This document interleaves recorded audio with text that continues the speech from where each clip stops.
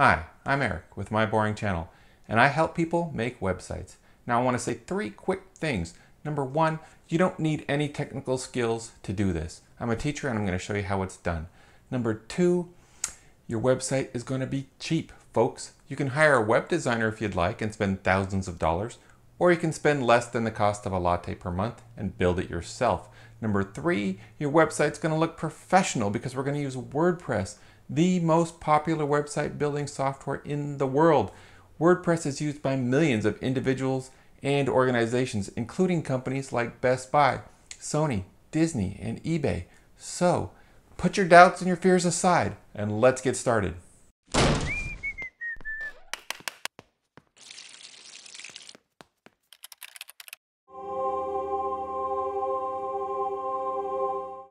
In today's video, I'm going to show you how to write pages and posts. Now that may sound easy, but there are a few things that aren't quite so easy that I'm also going to show you how to do, like inserting a contact form and setting up your permalinks. So let's get started. Step one is, as always, to go to your URL followed by a forward slash wp-admin. Once you're there, put in your username and your password and click log in. Now today we're going to be writing pages and posts. It's going to be cool. Let's go ahead and X out of this little message here if you see it. If you don't see it, that's okay. Now, you will notice these little red circles. These are important to notice because these are telling you that you have updates. One thing that is very important is to always keep your WordPress website updated. So let's go ahead and click on plugins and see what this update is. Scroll down.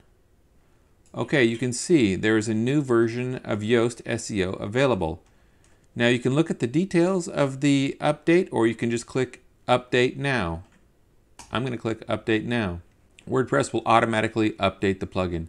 Perfect. The Yoast SEO plugin also gives you notifications. So these aren't updates down here. These are just Yoast telling you you should do something. So let's click on it and see what Yoast is saying. Okay, these are improvements, three improvements. We don't need these things. X, X. Now this one is important. As we write pages and posts, we want our URL, which is this up here, to not look funky. We want it to include our post name. So in order to do that, you have to go to your permalinks. In order to get to your permalinks, you can click this here, or you can do it the right way, which is to go to Settings, and then Permalinks. Click this one here, Post Name. That way, your URL will always look like this. Your domain name followed by the name of your post. That's what you want. Scroll down to the bottom and click Save Changes. Okay, we've taken care of all our notifications and updates, updates being the most important. Now we're going to write some pages and some posts. Okay, so what you want to do first is head over to Pages on the left here, and then click on Add New right here. We're going to call this page About Us, or About. You want your About Us page to include pertinent information about yourself, your hours, what you do, what you're good at, what's your company mission. When somebody looks at your About Us page, they should be able to contact you easily and they should know exactly what you do. So take some time and write a good About Us page. For an example of an About Us page, let's look at my actual website, myboringchannel.net, and then let's click on my About Us page. Scroll down a bit, and we see I have a picture of myself and my kids, I, I say who this website is for. I tell why I made the website. And then I have a button down at the bottom, let's get started, because that's what I want people to do on my website is follow through my WordPress tutorials. So a good About Us page should have a lot of very pertinent information about your business. Once you're done writing your About Us page, click Publish. Now, obviously I haven't put anything in this page yet. I'm going to do that later. Okay, so now let's just go ahead and click on Pages we can see we have two pages now. We have the sample page and we have an About Us page. The sample page was already here. Let's go ahead and make a contact page now. We can either click Add New right here, or we can again go to Pages and then Add New over here. I'm going to click Add New right here. I'm going to call this page Contact. Now, to add a contact form, all we need to do is click this button here that says Add Contact Form. And this button is here because we installed Jetpack before. Now, if you haven't watched my previous video on how to install plugins, I highly recommend watching it. Watch it and see how to install Jetpack and then activate the contact form module. Okay, let's go ahead and click Add Contact Form. This screen comes up. This is what our contact form is going to look like. We can add a new field if we'd like by clicking Add a New Field down here. And then we can add new fields over here. Now if you want a field to be required, you would click Required right here. I'm not going to add this new field for now, so I'm going to click the little minus button here. Now this link up here, email notifications, if you click that, this is the email address where you will get your communication from your site's visitors. Now, I recommend not using a Gmail address here. I recommend using an email that is associated with your domain name.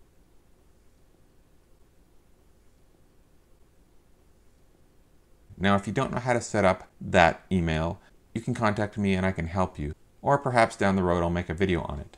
My email address is info at boringtips.com. You can also fill out a subject line here if you want. I'll just call it info. When you're done, click Save and go back to Form Builder. Now let's click Add this form to my post. Okay, this code here, this is our contact form. Let's go ahead and click Publish. We will go look at this contact form in just a moment. Okay, let's go ahead and add another page. Go ahead right here and click Add New. This page is going to be our blog page. Let's call it Blog and then click Publish. Okay, now let's click on All Pages. So now we have an About Us page, a blog page, a contact page, and a sample page. Let's go see what our website looks like right now. And we can do that by hovering over WordPress tutorial at the top. Yours will say something different. And then click on Visit Site. And here's a question. Where are our links? I don't see a navigation menu. Well, let's fix that. Hover over this right at the top and then scroll down to menus right here. Now keep in mind that different themes have different options for menus. So sometimes you'll see a little bit different things in here. But for this one, let's call this menu primary and then click create menu. Now this particular theme has three menu locations, the primary menu location, the secondary menu location, and the social menu location. Let me show you what it looks like. This is my website here. I'm going to go to the home page. This is the primary menu location up here. This is the secondary menu location here. And down at the bottom, we have the social menu location. So right now, we're working on the primary menu. So we're going to click primary right here. And then we're going to click these four boxes because these are our different pages and we're going to click add to menu. Now we've added these four items to our primary menu location. We can reorder these simply by dragging them around. So now sample page is first, blog is second, contact is third, and about is fourth. Let's make blog third. There we go. Now if you click on the little down arrow here on the right, you can you can choose the link wording here. So for sample page, we'll call it home because we're going to change this one to our home page. And this one will leave as contact, this one will leave as blog, and this one we will leave as about. But keep in mind, you can change these, and then the link wording will change. Now let's click Save Menu. Now let's go back to our website by hovering over this and clicking on Visit Site. Hey look, we have a navigation menu now. Let's try clicking the contact page. Here's our contact form. I would recommend testing out your contact form when you are not signed in. Put your name, email address, website, and a comment in there, and then click Submit. See if you get an email at the email address you specified when you were creating your contact form. Here's our blog link, and right now there's nothing there. Here's our About Us page, and again, there's nothing there right now. Okay, let's go back to our pages, hover over this, and click on Dashboard, and then click on Pages. Now, on Sample Page here, let's click Edit. This will be our home page. Let's just say Welcome. They have some sample text in here, which is great. So I'm going to show you real quick how to use these commands right here. These allow you to edit your text in a variety of ways, kind of like Microsoft Word. If you want your text to be bold, simply highlight the text and then click on the B right here. If you want to italicize your text, highlight the text, and then click on the I right here. If you want to create a bulleted list, you simply click the bulleted list right here, write your text, click enter, and so on and so forth. This is how you create a block quote. This is how you create a horizontal line. This is how you left align your text, center align your text, right align your text, and so on. This icon here will give you even more options. So now, if you want to create a heading, put a heading at the beginning here, you can type your text and then hover over it and then choose one of these heading sizes. How about heading 2? So go ahead and play with these. Here's underline, here's justify, here's text color. Now I also want to point out how to make links. Okay, links are important. So I'm just going to create a link to, here is a link to my YouTube channel. I'm going to hover over YouTube channel because those are the words I'm going to turn into a link.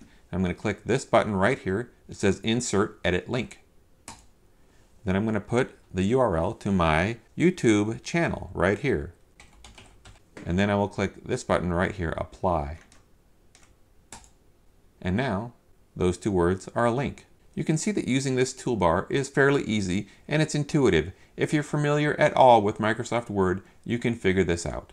Let's go ahead and click Update. Okay, so let's go ahead and see what our website looks like. Hover over this and click Visit Site. Now, we should be on our home page. How come we don't see anything we just wrote? Well, it's because our site is set to have our blog page as our home page. What we would like to do is set our home page to be a static page. So let's go ahead and back to our dashboard. I'm going to show you how to do this from the dashboard. You can also do this from the customizer page, which I showed you how to do in my third video in this series, which is how to install a theme. So over here, go to settings and then go to reading. In reading, click this right here. We're going to have front page displays a static page. And then we're going to choose our front page here. It's going to be our welcome page. And then our posts page is going to be our blog page. And then we're going to scroll down and click Save Changes. Now, when we go back to our main page, visit site, we are going to see the page we just worked on with the link we made and the heading we put in there and the bulleted list we made at the bottom. These are block quotes, by the way. And this is now our home page. Now if we click on our blog page, we go here. And look, there is nothing there. Why? Because we have not created any posts yet. Okay, we've learned how to create pages. Now let's learn how to create posts. You can go back to your dashboard if you'd like, or you can also always add new pages or posts right here from the top where it says new. New post, new page, new user, new media. We're going to do new post right here. And if you want to do it from the dashboard, you would click on dashboard and then go to posts and then click on add new here. Here's our first post. We're going to call this post number one. Then you write your post in here. You can use the toolbar here to make the links and the bold text and the italicized text and things like that. And if you want to insert media, like a picture, you would simply click Add Media right here. And then you could add a picture into your post. And you can also do this with your pages. If you want to upload new files, you would click Upload Files here, and then you would select Files here, and browse to the file on your computer and upload it. But for now, I'm just going to use a file in my media library. I'm going to use this A right here. I'm going to click Insert into Post. There we go. We now have a picture in our post. If you click on the picture, and then click on the little pencil right here, you can edit this picture a little bit. You can change the alt text, which I always recommend doing to be descriptive and this helps with accessibility purposes. For example, if someone is blind, then they will have the alt text read to them so that they will know what the image is. Pink cartoon letter A. We can have it link to the actual file. We can have it linked to an attachment page. We can put our own URL in there to have it linked to. It's up to you. Go ahead and play with those things and see what happens. You can left align it, center align it, right align it, or not align it at all, which is kind of like left aligning it. Left aligning it though allows the text to flow around it. If you don't do any alignment at all, the text will not flow around the image. Let's click update. Now you can see these little pictures here too. See align left, it shows the text flowing around it. If you align center like this, that's what will happen. Align right, the text will flow to the left of it. And if you don't align it at all, the text will go above it, then you'll have the image, and then the text will be below it. Okay, so we're going to left align this. And then I'm going to put it right here in front of the blah, blah, blah. And then I'm going to look at these down here. You have all these different formats.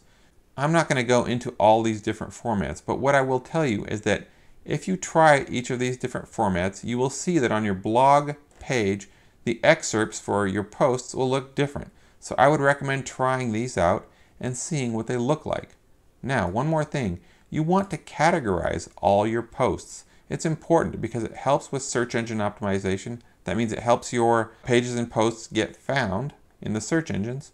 And it's also good for organization of your website. So let's go ahead and click Add New Category and call this, just for the sake of this tutorial, Category 1. Then we'll click Add New Category. Then we will make sure this is checked because we're putting this post into that category. And then Lastly, we can set a featured image. So let's do that, set featured image. And then we can upload a file or we can choose a file from our media library. Let's go ahead and upload a file. Click select files and then browse to the file you want on your computer. Uh, one of these, how about this one? I'm going to put in some alt text because it's important. Little boy and girl smiling. That's the best I can come up with right now and then I'm going to click Set Featured Image. Now that I've categorized my post, I've set a featured image, and I've chosen the format, I'm ready to publish it. So let's click Publish. Now let's go to our website and see what it looks like. Let's click Visit Site here. Now, this is our homepage, and this is our blog page. Let's click Blog. Now scroll down. We can see the blog post that I just wrote. There's my featured image. There's my title. And there's my post. Now it says edit this and all this stuff here because I'm logged in. This won't be here when you're not logged in. Let's go ahead and click this. Scroll down a bit and you will see it takes us to our first post. And here's the image that I added and here's the text that I added. You can see the image is left aligned and the text is flowing around it to the right. So now you know how to set up your primary menu, write pages and posts, set your home page to be a static page, create a blog page and a contact page with a contact form. And you also know how to choose the format of your blog post and set a featured image. You've learned a lot today. Thanks for watching today's video. I really hope you learned a lot. If you like what you heard, please don't forget to subscribe to my channel.